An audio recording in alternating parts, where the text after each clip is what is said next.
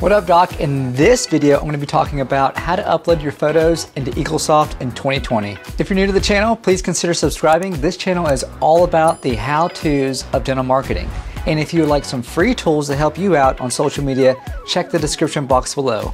So let's go ahead and get started. Okay, so here we are in Eaglesoft uh, version 21. I am on a Windows 10 computer. It's actually an Alienware computer. For today's purposes, I want to be using the Sony a5100. Not that that really makes a difference on how you're going to be importing, uh, but just I just want to let you know because in case you have that camera, you can kind of troubleshoot with this video. So, the first thing that we need to do is go down here to the new exam and we're going to make a new exam. Okay, and you want to click on the digital camera button Okay. And next, what I want to do is import the photos. Okay. I'm not going to save the photos directly to the desktop. I don't want to waste time. I don't want to waste your time. You want to import them directly from the camera. So what we're going to do is go to import, file, import. All right. And these are the photos that I want to import. Okay it's not going to pop up like this did. You, If you're on a Windows 10, it's probably going to automatically pop up. Just close that window out because you're not going to use it. You want to use the folder window that Eaglesoft prompts you to use. Okay, so nav navigate to the camera that you're using, and mine's a Sony 5100. And basically, I'm just to highlight all these. So you want to click on the first one and then shift, hold it down, click on all of them like that, and then what you're to do is import.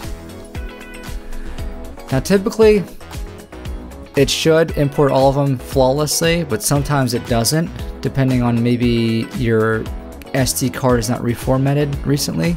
That could be the issue. Um, if it does give you the error message, it's going to be right here in the center. It's going to say uh, corrupted files, blah, blah, blah.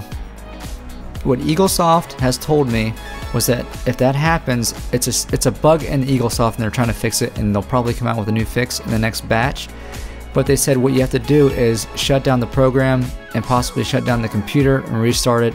So in the event that this procedure doesn't work to fix the problem, what you can actually do is reformat your camera and basically what it does is wipe your whole SD card clean so you start fresh and new. This has been the remedy that I've been using to upload to Eaglesoft and I've had pretty good results.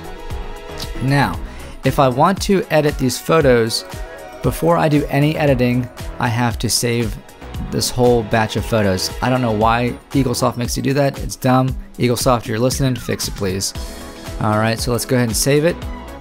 Okay, so now what you have to do is click on this the occlusal shots because those are really the only ones that we're going to be editing. And it's not a whole lot of editing, editing, it's just flipping and rotating.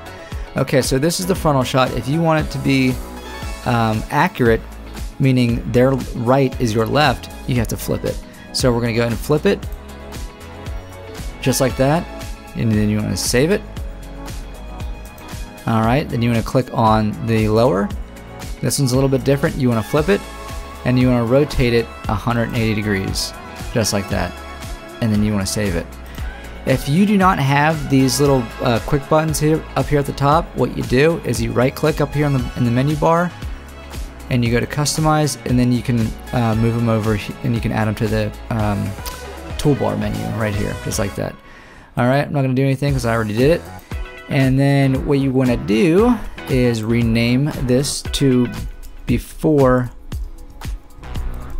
photos, just like that.